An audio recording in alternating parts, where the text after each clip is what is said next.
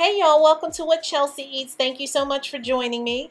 Today I am going to show you how to make this butternut squash and white bean soup. Oh my goodness, it is so comforting y'all. It hits the spot when you're looking for something that's gonna kind of stick to the ribs and get you out of salad mode. Not that there's anything wrong with salad. Y'all know it's important to eat your salads, but this is good for those days when you just want something warm on a cold winter day. So if you want to see how I make it, stay tuned.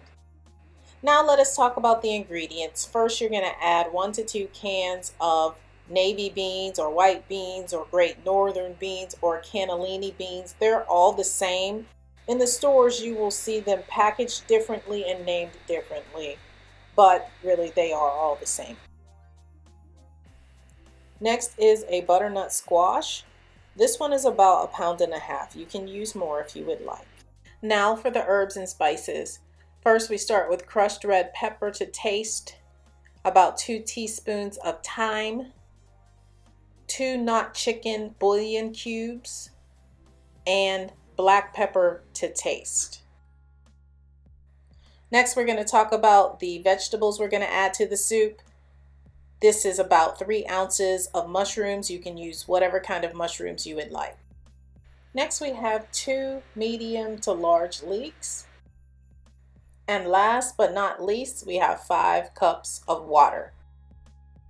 We're going to start by cutting our leeks. First, you got to start by cutting the ends off of the leeks, but one thing about leeks is they get extremely dirty and also you don't want to use the top part that is discarded.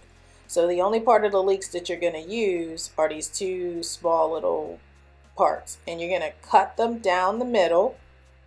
And then what we're going to do is take them over to the sink and wash them really, really good because sand gets in between the leaves of the leeks and you don't want to eat sand. So you see how I'm like moving the leaves out of the way and just kind of letting the water get down in each one of the leaves. That's what you have to do to get the leeks clean because they will have dirt on dirt in them. I can't stress it enough.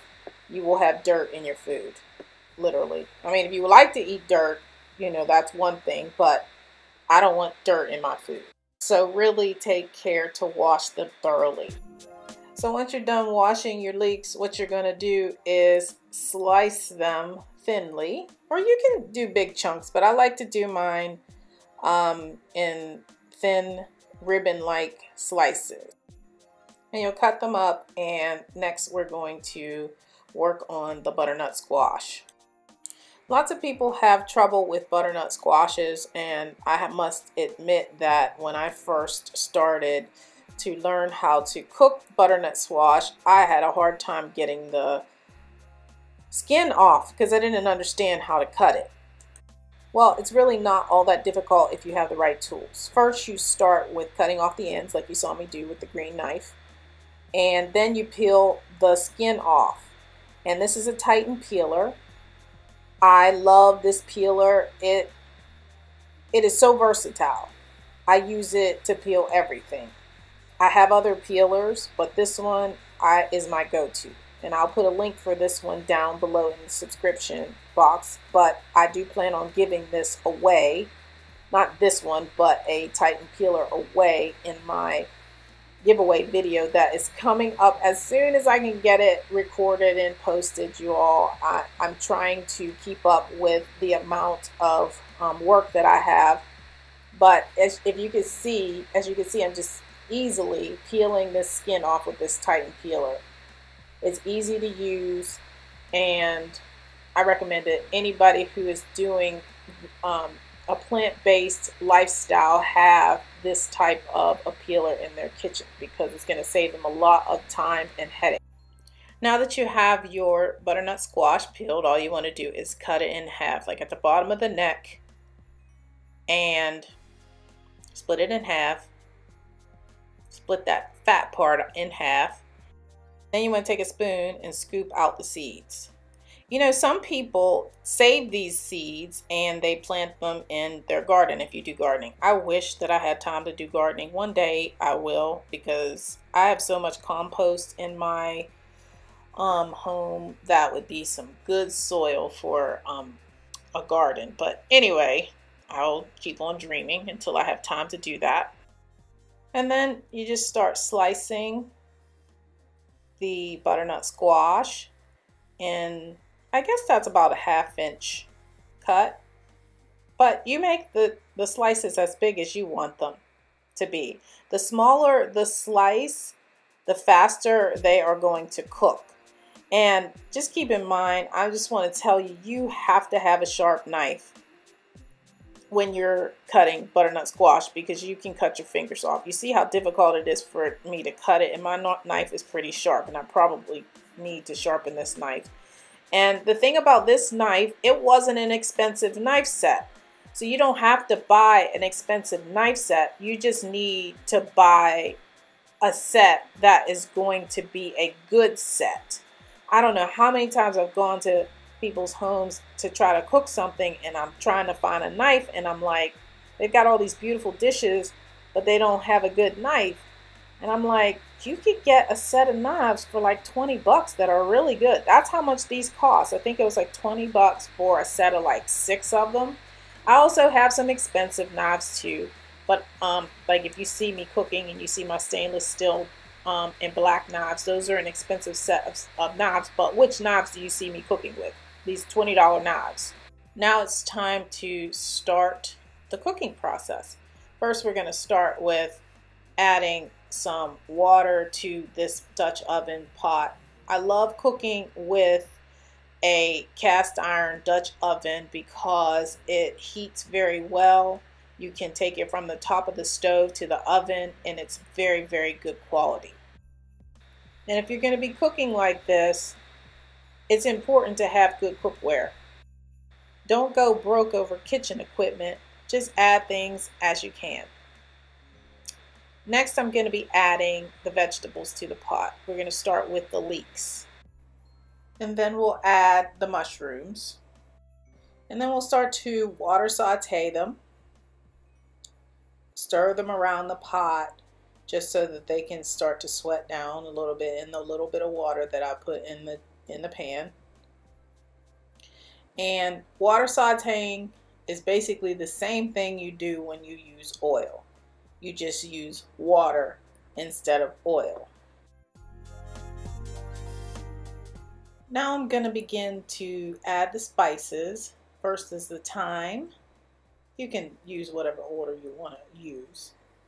Then the pepper, the not chicken bouillon cubes, then the red pepper flakes, and then you stir it in to your dish. And let those vegetables take on the flavors of the herbs and spices that we added to the pot. Now that that's cooked down a little bit, we're going to add the butternut squash. Isn't that pretty? Now that you've got your butternut squash in the pot, all you do is stir the vegetables together so that the flavors from the herbs and spices start to marinate with the butternut squash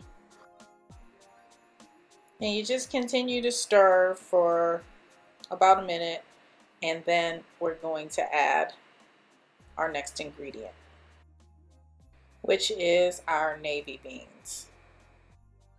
You just want to continue to stir the uh, navy beans with the vegetable mixture just so the herbs and spices can meld together. And next we're going to add our water. And this is filtered water that I'm adding to the pot and it's about five cups of water. You can add more or less. I found that five cups was a perfect amount of water to add to this dish. And what you're going to do is stir it around and you're going to turn up the heat so that this can come to a boil also, it will be a good idea to put the lid on the pot so that the water doesn't evaporate from the soup and so that the soup can come to a boil a lot faster. It took about five or six minutes for this to come to a boil. Now that it's at a boil, rolling boil, as you can see, we're going to turn that down to a simmer and let it simmer for about 15 minutes or until your um, butternut squash is as tender as you would like it to be. It's been about 15 minutes and the soup is perfect. It is perfectly done. It's time to serve it and it was quick and easy to make. I wish I had smell-o-vision because it smells really, really good. And I cannot wait to make this soup again because it is one of those soups that is just perfect for a cold winter day. I think I would make this in the summer as well because it's a the it's a, a brothy soup. And as you can see, I'm doing a taste test to see if all the spices are perfect. And I'm telling you, I did not have to put one other herb or spice in the soup. It was absolutely perfect. So there you have it, ladies and gentlemen. Butternut squash and white bean soup. All of the details for this recipe and the tools I used will be listed below in the description box. If you like this video, please give it a thumbs up, share it with a friend, and don't forget to subscribe. Thanks so much for watching, and until next time, y'all, take care. Love y'all.